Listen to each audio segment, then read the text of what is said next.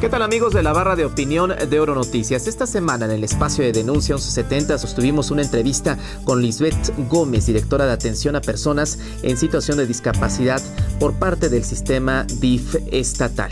Se crea esta, esta precisamente esta dirección, eh, precisamente para apoyar a todas las personas en situación de discapacidad. Y para muestra, basta un botón. Y aquí viene la pregunta de esta semana. ¿Qué opina usted de las personas que sin tener ninguna discapacidad terminan invadiendo, obstruyendo, utilizando los espacios azules, los espacios destinados para las personas en situación de discapacidad.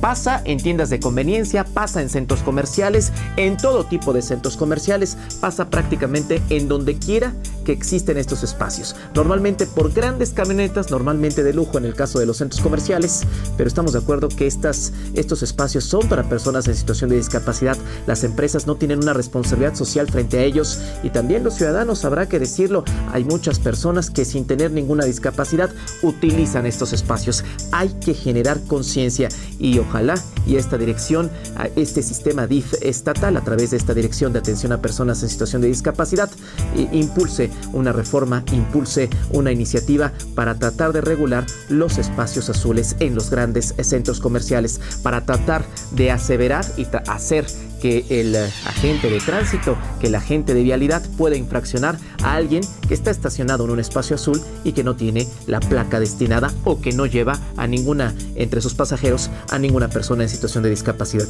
Hay que hacer conciencia y si usted ve en una tienda de conveniencia un espacio azul, no lo utilice. Puede ser que alguien con discapacidad pues pueda, pueda venir detrás de usted.